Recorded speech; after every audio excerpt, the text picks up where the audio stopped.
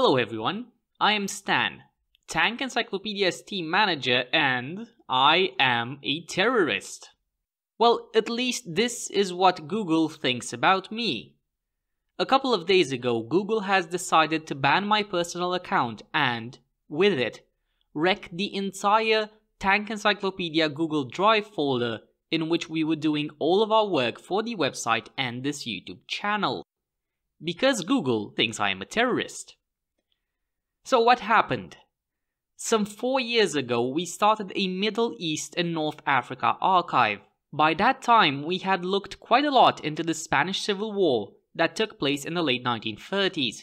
That conflict saw the use of a lot of improvised armored fighting vehicles, some of which were very poorly documented with little information available. Wanting to spare future historians of the same problems when they would deal with the current conflicts in the Middle East and North Africa, we started to trudge through Facebook, Twitter, Live UA Map, and other places in order to download, save, and catalog as much media relating to the use of armored vehicles in the area as possible. We saved everything we could get our hands on from all sides in the conflicts, the Iraqi government, the Syrian government, the Libyan government, the Syrian rebels, the Libyan rebels, Al Qaeda, HTS, anything from anyone. We kept doing this for a while, but three years ago we stopped adding to the archive, as we recognized that it was beyond our abilities and time to keep doing it. At that point, we released everything publicly on Facebook, Twitter, Reddit, and all, and called it a day. Last month, one of our team members started going through it again for an article on the use of the Toyota Land Cruiser in wars that he is working on, which is probably what triggered the Googlebot.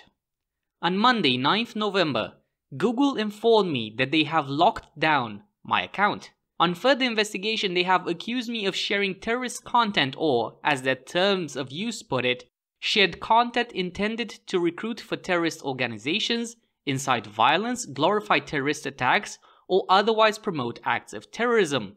Which is evidently not what we're doing, unless you are taking a very limited and malevolent point of view. So not only have they locked down our conflict archive, they flat out removed access for everyone from anything I created on Google Drive. This includes, but is not limited to, most of our book archive, most of our YouTube narrations, a couple of upcoming articles, the public suggestion list, along with all of my work and personal files on the drive, which are a huge blow personally.